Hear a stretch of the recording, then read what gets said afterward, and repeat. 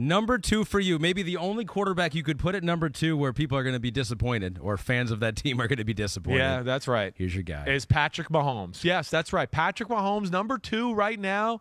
I mean, we're talking about, yeah, already a first ballot Hall of Famer. And to me, already, I mean, one of the greats of the greats. I mean, we're already at that with, with him. All right. He's the coolest quarterback in the NFL, probably the most fun to watch in the NFL. I think that's where you talk about his creativity and deliveries and the way he plays is unlike anybody else in the sport. All right, that's where he's just different, you know. And I mean, come on, what, what, you you can watch 10 throws in a row of this guy and go, he didn't really throw one throw normal. One was sidearm flick, the other one was across his body. This one, the legs were cockeyed and he just threw it. And I mean, he's all over the place, but it doesn't really matter because the ball's on the money more times than not. I mean, that's where he's amazing. So deliveries, quick release, finding like awkward holes to throw the ball through where you go, oh no, man, he's the pocket's collapsing here. This guy's open, but how's he gonna get the ball? And he finds some way to get it through the garden tackle gap there, and they on the money. I mean, that that's where it's crazy. It's one of the best arms in the league. He is of course, got great effect and leadership on his team, like we talked about. I mean, you got Patrick Mahomes. Oh, wait, there's 4.2 seconds and we're down by a touchdown. We got a chance. It's Mahomes. We got a chance. So it's 4.2. They left too much on the on the clock. I mean, that's that's where we are with the guy, you know. And then, um, you know, great touch. You know, I think that's one thing. Like people talk about his arm. The one thing when I come back and watch him a little bit, you know and like where I talked about Herbert, who doesn't have anticipation, Mahomes has an incredible arm, but does anticipate. He does. He can just lay a ball out there on a 20 yard out route, and the guy's still running straight up the field and just about to break outside, and they turn around and it's like the ball's there. And he threw a slow, you know, change up that got out there and was right on the money. Or just his ability to Travis Kelce running a deep cross and he's backpedaling and just does this and it just drops, you know, from the sky 30 yards down the football field. Uh, it's incredible. And then I talk about his scrambling ability. I mean, he's one of the best scramblers in football. What about that? because last year we talked about go. That let's go. A little see, bit. This is where I like you. This is where you listen to me and you're going to ask the appropriate question. Er- early in the early in the year, Yeah. you go. "Ah, Something's not right. Yes. Something's not right with his ability to escape the pressure in the Right. pocket. Something's not right with his ability to run after breaking the uh, the pocket. Uh, I mean, did did that improve as the year went on? It Is- did. It did. But the, it, I still will contend that I do think it looked a hair slower from the year before. And I will say that I know his toe was bothering me, as you heard me say during the year last year. They weren't going to say it. I know his toe was a concern for them a little bit. So I do think he like lost a little bit. But as the year went on, you know, because I, I, I spent this time week this weekend again watching these again, and where you go, Oh yeah, towards the end of the year, he he definitely was running better than early on in the year. And when we talk about the scrambling, he is one of the best scramblers in football. Do you want to cough? I'm holding it in. I know you are. Hold cough it.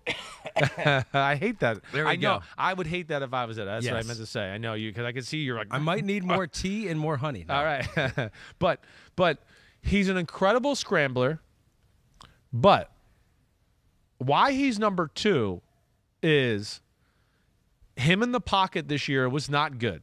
We had a lot of games, if you remember, where I Oh, not good. it, it was not good for his standards. And it really, and there was a few games where I would go, it was not good actually for a lot of quarterback standards. Like I would go, this this was he was bad.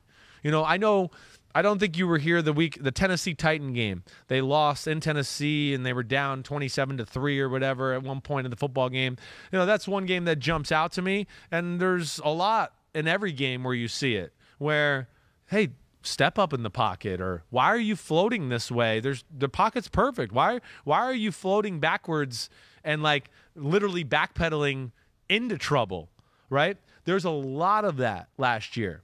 He he got a little bit too backyardy last year in my opinion hmm. where we just talked about Justin Herbert and I want to go I wish he would play a little bit more backyard football Mahomes I would go I wish you would be just a little bit more like Justin Herbert and like stay in the pocket just a hair more and play it by the book he was too aggressive with decisions down the field, predetermining decisions, you know, trying to make big play and the magic happen. And you'd sit there and go, damn, there, there's three people underneath open for seven yards. Why, why are we throwing throwing a sidearm 40 yard throw down the middle of the field into double coverage.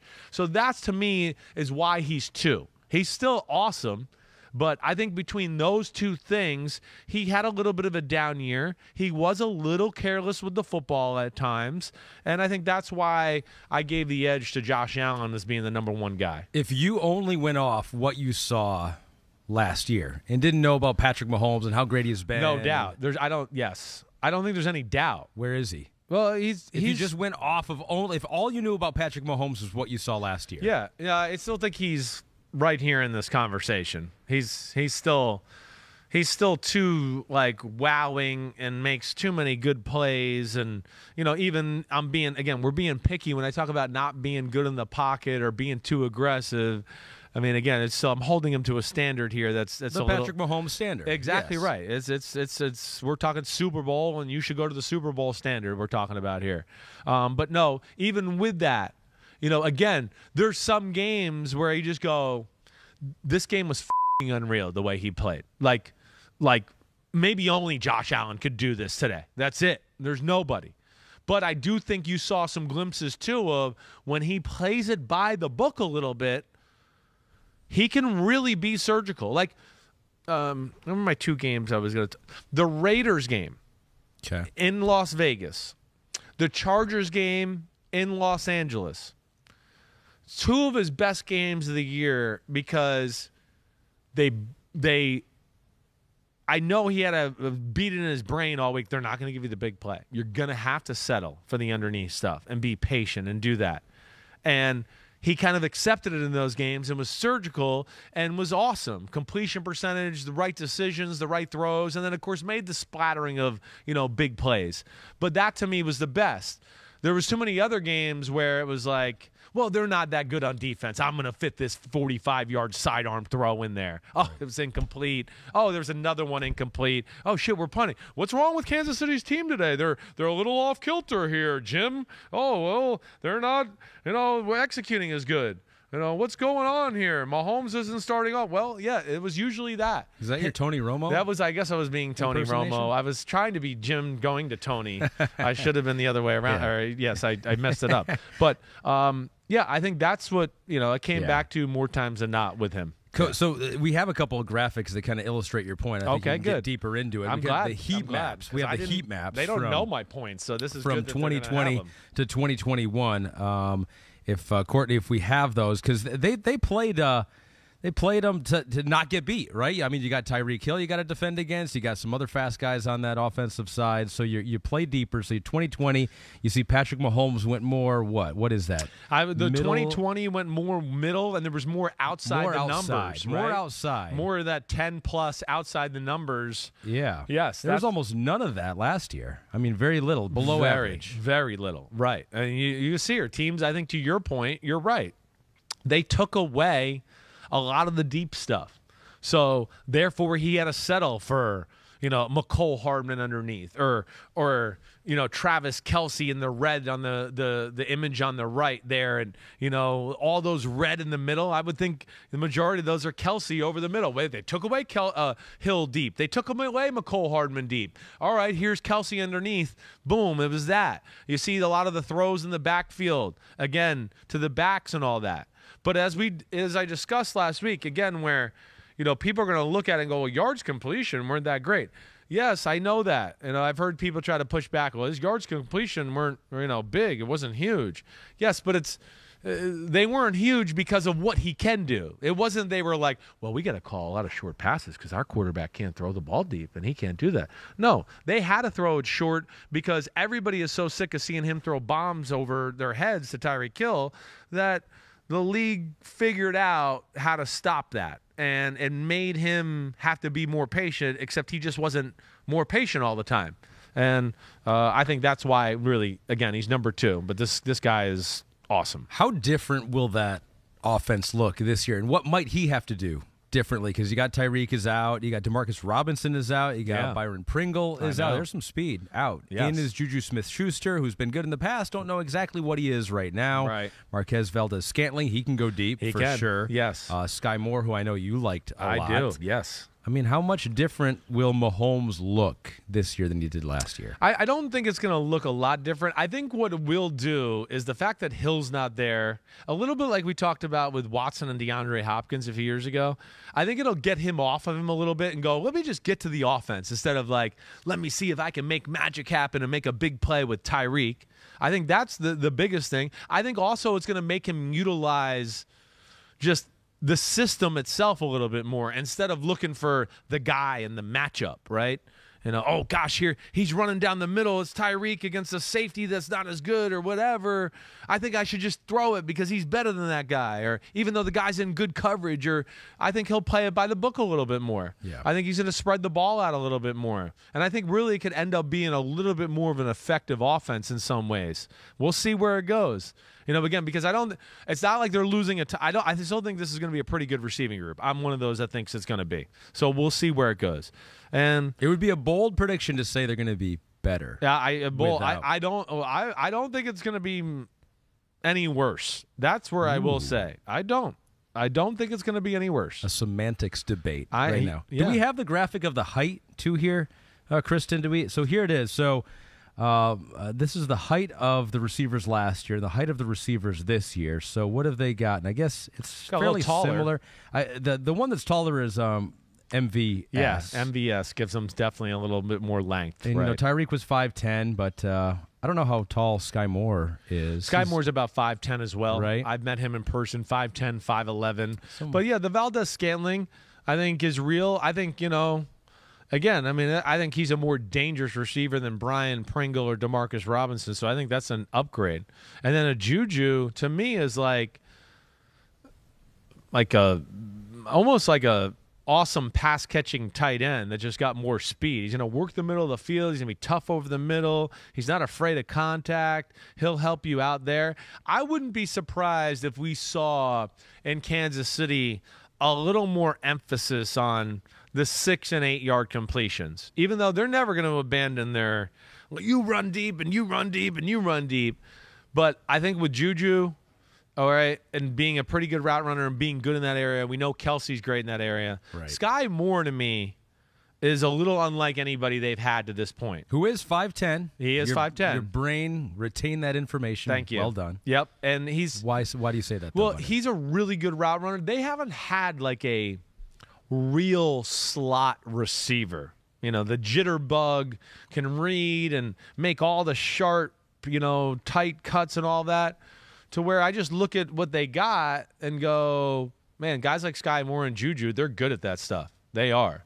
And so is Kelce. To where I could see them maybe having a little bit more offense of finding the five and eight yard completion. And then, oh shit, they're picking us apart with the five and eight. And then you go, oh shit, there goes Valdes Scantling or Mecole Hardman over our heads. That, I could see that being a little bit more instead of instead of it was the opposite last the last two years. Just go deep, go deep, go deep, and when they get so deep, we'll finally throw it short. I could see them this year going intermediate short, intermediate short. Okay, they're starting to creep up, guys. Unleash the Mahomes bomb, and then it's touchdown, Kansas City. So that that's maybe I guess where I'm expecting a little bit more. going to be so year. many highlight plays from them again, but it's going to be difficult, and it was last year um, because their schedule. Last year, they only had five games versus teams who had a losing record last year, and two of those were the Broncos. We think the Broncos will be better this year, so the division might be as tough as any division out there uh, in football. And they start with at Arizona Thursday night football, big one for Amazon against the Chargers and Justin Herbert. At Colts, at Buccaneers on NBC. Raiders, Monday Night Football, Bills at 49ers. Jeez. Although I, I do, Bye we do week Titans. bye week and then Titans. What I do realize going through these schedules is that the NFL is pretty good. They got a lot of good, good teams Right, in the NFL. right. It's I like know. There's not many cupcakes There's there's really not. in this league, but that's very, very difficult for the Chiefs. It was very difficult last year. It was. You know, to your point. I mean, I remember last year coming down the schedule going, damn, can Kansas City really, for a fourth year in a row, come out and be like one of the top teams in the AFC? And my answer to the, the one this year is yes, they can. They'll. I, I just would be shocked. They're ahead of the curve. Their team is in a good spot. You know, they changed over their team in the midst of Super Bowl runs. A little like New England used to do, where you'd go, they're kind of rebuilding and still going to AFC championship games. What is going on? Why is the rest of the league rebuild and we all fall off? And Brett Veach and Andy Reid are retooling and kind of turning over the team, and nothing's changed. We still look at them and go, oh shit, here comes Kansas City. So, I, I mean, I don't worry about them. One, they're a tougher, more physical team than people give them credit for. It's one thing I always try to say to people because we think about them passing and greatest show on turf and all that. But in the trenches, nobody ever overpowers Kansas City. Nobody. And they're as good now as they've ever been in both sides there. So I just look at that and go, hey, they'll be okay. And of course, it's Mahomes and Andy Reid and company, and a lot of good players on that football team to where, yeah, playoffs for sure. And then just we'll see after that because the AFC with some of these teams and quarterbacks is going to be a lot of fun to watch. Patrick Mahomes was number one in 2020. He was number one last year. He is not number one. It hurt in 2020. It hurt. It, hurt my heart. It was like a sad thing to say, it, you know, because really, even in 2019, I think I made him two, and I was that year I made Rodgers one, and I was really like, man, this is freaking close. And it was like I gave Rodgers the edge by a hair. So I mean, we're really like in a year. This is the first time that yeah. I mean, it's the first time in three years, really like four years. I could, even that year, I think I could have made like Rodgers one and Mahomes one A. So yeah, we'll see where this goes. Uh, but but it's uh, he's freaking awesome. Let's not forget that. Hi, I'm Mike Tirico, and thanks for watching. Make sure to hit subscribe for the latest news and highlights from NBC Sports.